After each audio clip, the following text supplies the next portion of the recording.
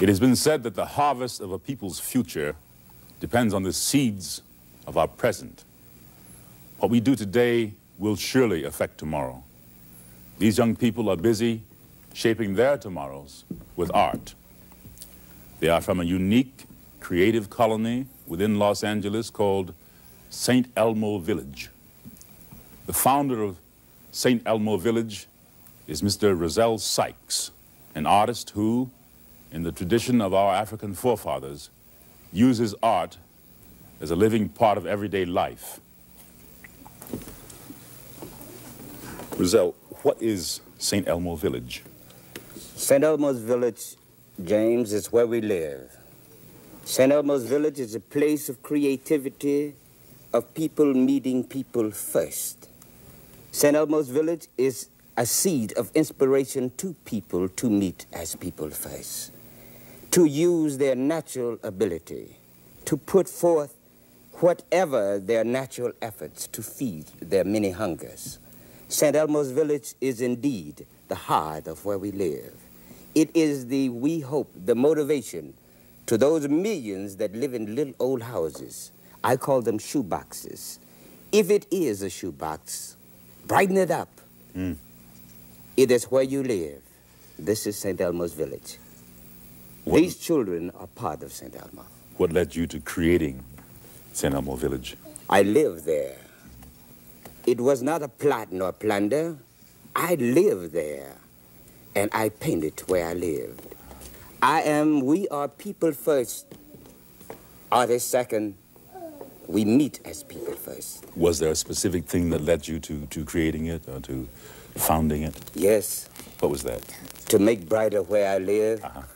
the eagerness of heart to meet another person, which is substance to my day. What's what's been the uh, the surrounding community reaction to St. Elmo Village? There has been a harvest of awakening. The streets of St. Elmo that used to be drab and brown is now green. It is not the best line, but it is indeed green. There used to be whiskey bottles and beer cans thrown by many of these kids. It is no longer. The houses that used to be colorless now are color. Doesn't matter with what color paint, but it's clean. This has been the uplifting of the street of St. Elmo Drive. I sense a very special connection between you and them. How do you, how do you teach them? First of all, they are my breath, for I am me and they are around me. How do I teach them? By doing the best that I can for me and hope that that seed inspire them to do for them first because in doing for them, they might do for me. And this has been the unity of St. Elmo. You don't worry about supervision, that is the, the old-fashioned type? Sir, uh, I, I cannot teach them. Uh -huh. I cannot teach them, I can take away from them. I hopefully can create this atmosphere, we can create this atmosphere, that they get the confidence to express their God given right, their feeling. And they are expressing it now. How is it financed? Where do you get money for the paints, for the materials? We scratch each month to keep the bulldozers away from our door. We are not subsidized by no one. We have had many congressmen and senators in our village to appall us in our endeavors. But unless we sell a painting, unless a person out yonder care and donate to us, there is no subsidy. And I like to say now that each month the breath of St. Elmo is at a quicken stand because it need. It need paint for them. It need roof for their head. For when it rains, they cannot paint, and then they are turned away.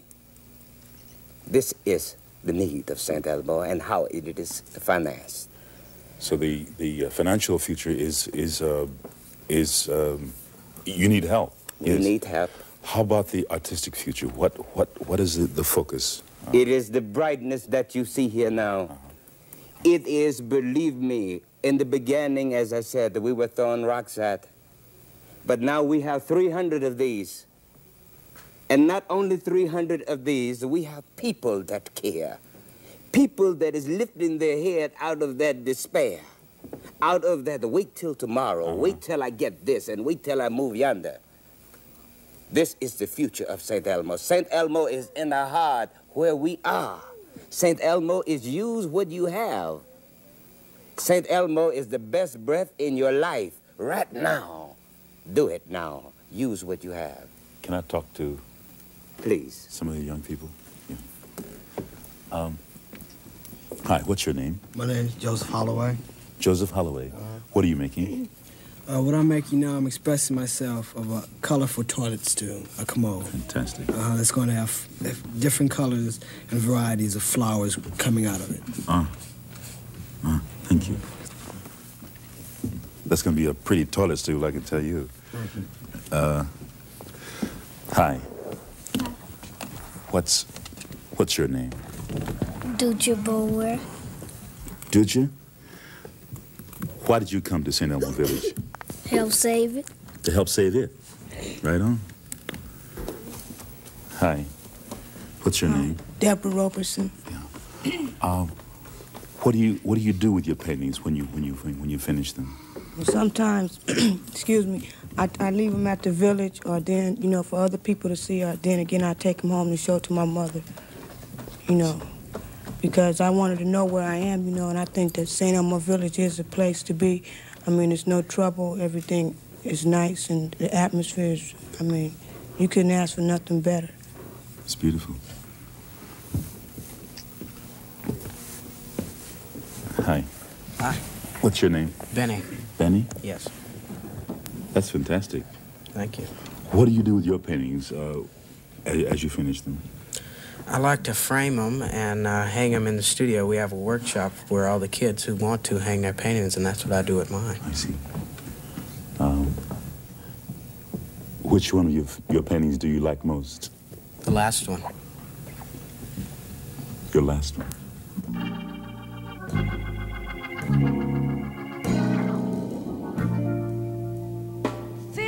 That's God shall get.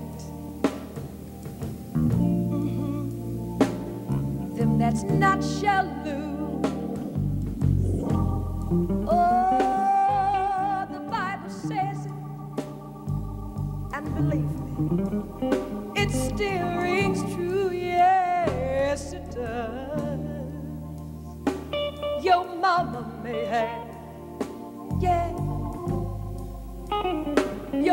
may have.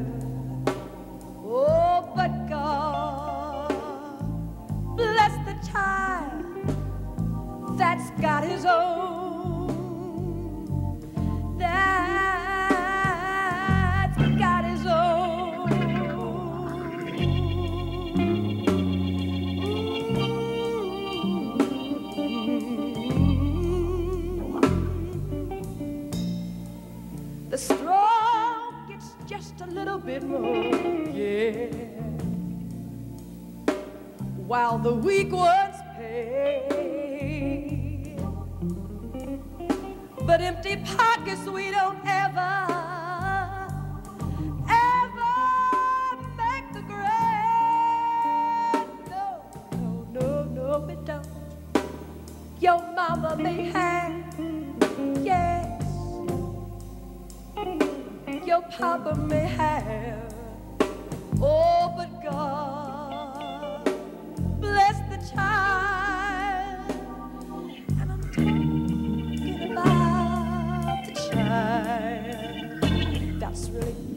His own.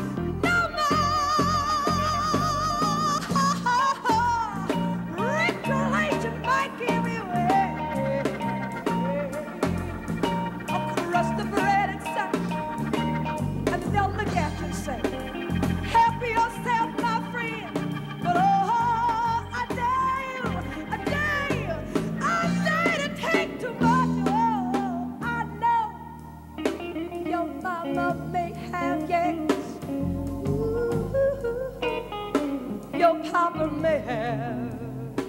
Oh, but God, oh, He'll bless the child that can stand up.